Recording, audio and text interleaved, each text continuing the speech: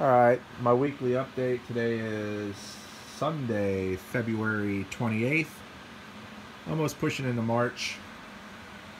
Got some nice growth going on uh, from last week. Definitely has grown. I did move the lights up a little bit um, just to give it a little bit more space because they had grown pretty much right into the light. So moved them up a little bit. You see we still got some uh, good growth. Nice big leaves. This guy's real, really filling in, kind of taking over the tote. But uh, growing nicely. I did just check the water.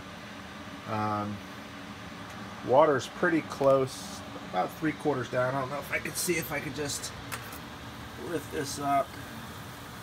See the roots in there but the water level is down pretty good so I'm gonna top it off with some more nutrients but uh, yeah she's still doing good. Still growing strong so we'll uh, take a look well, you know we'll take another look next weekend